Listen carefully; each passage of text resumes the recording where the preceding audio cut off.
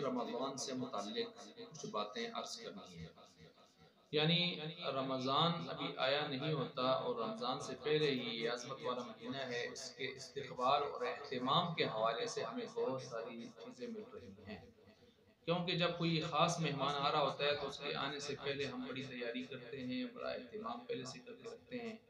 और उसका इस्तेबाल बड़े पुरजोश अंदाज में हम करते हैं। तो रमज़ान इतना बड़ा असमत वाला महीना है कि इसका, इसके आने से पहले इसके अहतमाम के हवाले से तैयारियाँ, ये सारी चीज़ें शुरू हो जाती हैं और इस तरह की बातें हमें रिवायात में मिल रही हैं।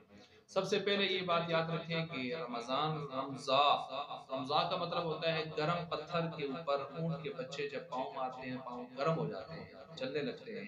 तो उसको रमज़ा कहा जाता है।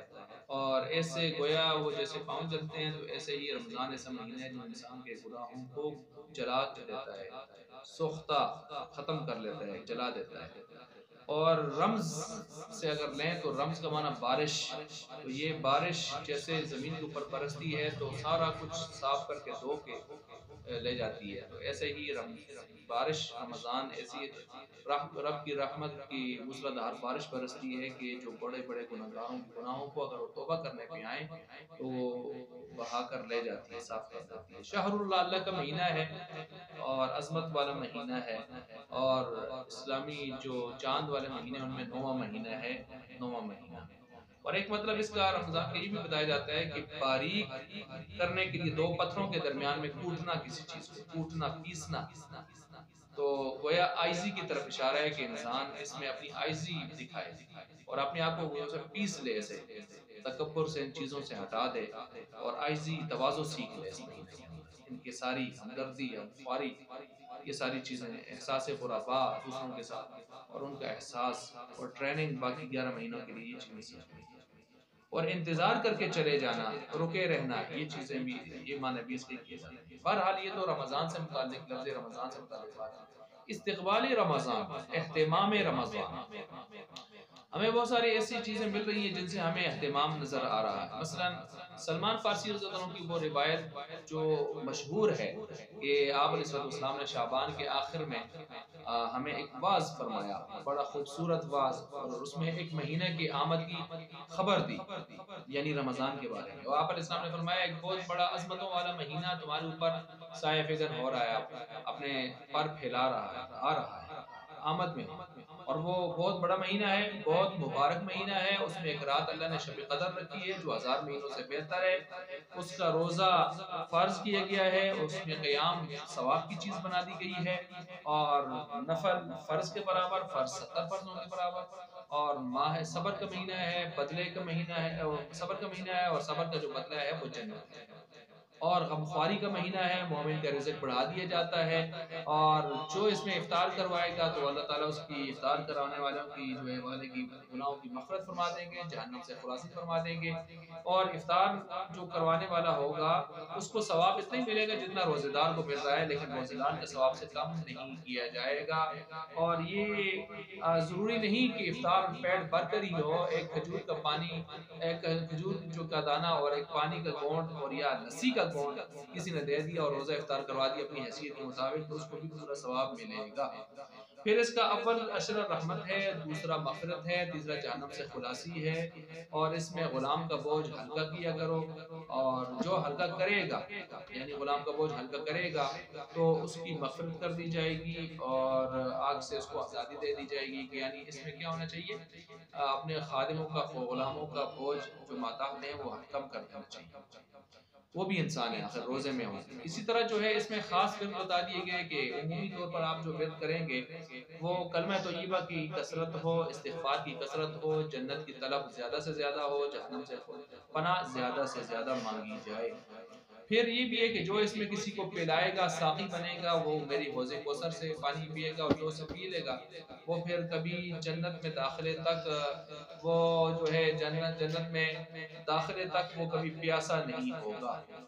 जन्नत में दाखिल तक कभी प्यासा नहीं होगा। ये देखें, उधर से रमज़ान आ रहा होता है, इधर हदीस में आता है कि सरकश शयातीन को कैद कर दिया जाता है, दरियाओं में डाल दिया जाता है, जन्नत को खूबसूरत से खूबसूरत मुजैन उसके दरवाजे खोल दिए जाते हैं और जहन्नम को बंद किया जाता है। ये देखें, सारे काम जितनी रिवायात में बातें आ रही है, सारी रमज़ान से पहले रमज़ान के इब्तदा के साथ ही अहतमाम रमज़ान की तरफ़ इशारा दे रहे हैं। गोया इतना ख़ास मेहमान है कि अभी आया नहीं है और उसके बारे में तैयारियाँ पहले से पुरजोश किस्म की शुरू कर दी। ये इस रिवायत में ये मफहूम हमारे सामने रखा। होटल बंद करने का शरीर में कहा गया है कि रमज़ान में होटल बंद होने चाहिए। बैठ के खाना खाने वाली चीज़ें नहीं होनी चाहिए। पार्सल की तरसीब अलग है, जैसे कि ये बात लोगों को कोरोना में आके समझ आई। तो अब रमज़ान में होटल नहीं खुलना खुले होंगे, क्योंकि बहुत सारे नाफरमान होटलों पर बैठे खाना खा रहे होंगे। तो ये रमज़ान की नकदरी और बेहतरामी बेकरामी होगी।